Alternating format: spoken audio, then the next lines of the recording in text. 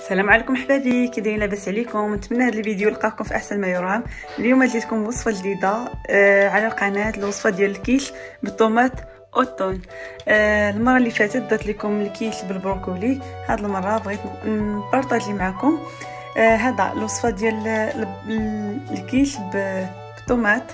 وبال thon ولهاد الوصفة كنحتاجو la pâte brisée كنحتاجو الموزاريلا la crème ثلاثة البيضات البزار جوج بطاط ديال ال thon من اختياركم بغيتوها ب thon tomate ولا thon عادي لكم الاختيار كنحتاجو الاعشاب المنسمة les herbes de Provence وكنحتاجو الملحة وال tomate. ال tomate ديروها على حسب le moule ديالكم.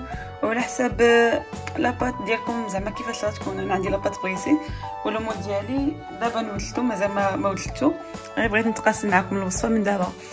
آه في هذا الفيديو قررت أنني ما غاديش نهضر فيه حيت déjà نفس الطريقة باش صاوبنا آه الكيش ديال البروكولي هي نفس الطريقة اللي باش غتصاوب. غير غير البروكولي كنا سلقناه. دابا هذا لا حتى حاجة ما تسلق. ساهل هذا ساهل ماهل.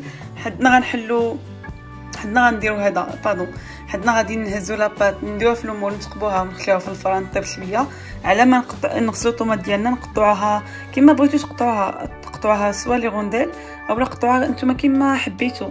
لكم الاختيار تقطعوها كما بغيتو.